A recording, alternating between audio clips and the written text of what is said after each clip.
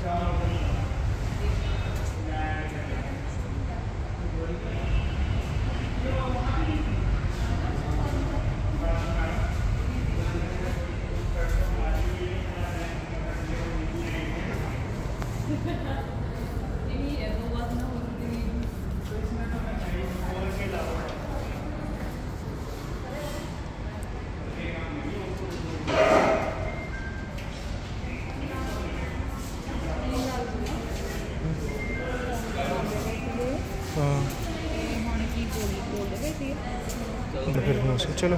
क्या कस्टमर ने की रिकॉर्डिंग तो थी। मैं क्यों ना जाऊँ?